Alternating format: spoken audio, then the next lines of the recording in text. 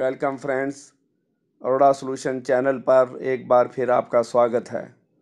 आज की वीडियो में लेके आया हूँ लेबर लॉज के चेंजेस के बारे में, श्रमों के, लेबर्स के जो वर्किंग आवर्स हैं वो आठ घंटे से बढ़ाकर नौ घंटे के बारे में।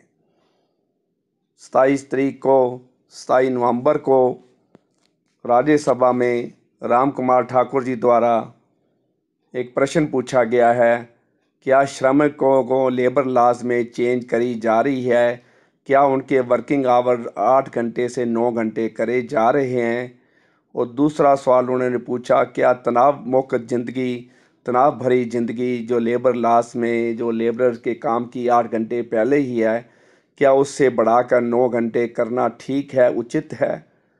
तो इसके जवाब में लेबर मिनिस्टर जी संतोष गंगवार जी ने जवाब दिया है कि बिल्कुल ही सभी डिपार्टमेंटों को ऐसी प्रपोज़ल भेजी गई है और वेबसाइट पर सताई नवंबर को वेबसाइट पर लेबर लॉज के, लेबर डिपार्टमेंट के वेबसाइट पर लोगों की पब्लिक की टिप्पणी के लिए ये रखा गया है।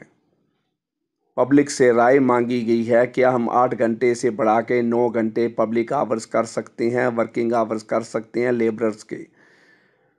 तो किसी भी दिन उनका जो रेस्ट का टाइम है, उनकी लंच ब्रेक को डालकर 12 घंटे से ज़्यादा विस्तार नहीं किया जाएगा किसी भी वर्किंग डे को। तो मतलब यही है कि लंच टाइम डाल के भी नौ, साढ़े नौ घंटे ही वर्किंग आवर्स रहेंगे। तो इसका मतलब यह है कि लेबर लॉज में चेंज करी जा रही है और सभी केंद्रीय कर्मचारियों के ऊपर, सरकारी कर्मचारियों के ऊपर भाई ये रूल लागू हो जाएगा, आठ घंटे से वर्किंग आवर नौ घंटे हो जाएगा। तो मैं आपको एक्सटेंशन ऑफ़ वर्किंग आवर्स का जो जो वेबसाइट पे उन्होंने डाला है, वो आपको वीडियो में दिखा रहा हूँ। और राज्यसभा में जो मंत्री से प्रश्न पूछा गया है, वो भी मैं आपको दिखा रहा हूँ।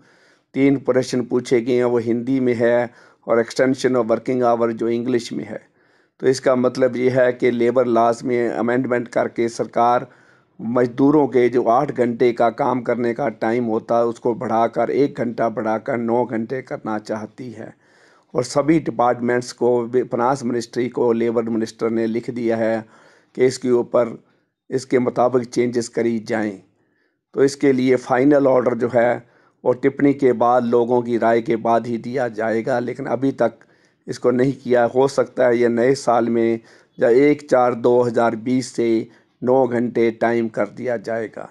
तो इसका मतलब सरकारी दफ्तर जो नौ से पाँच हैं, वो नौ से छः रहेंगे। जो बैंक हैं, दस से पाँच हैं, वो दस से छः रहेंगे। इसी तरह सभी जगह, सभी फैक्ट्रियों में इस्टेब्लिशमेंट जितने भी प्राइवेट कंसर्न है, सभी जगह पर नौ घंटे वर्किंग आवर्स हो जाएगा। तो इतनी सी इन्फॉर्मेशन मैंने आपके साथ शेयर करनी ठीक समझी है। इस वीडियो को लाइक करो शेयर करो और सब्सक्राइब करो। Thank you very much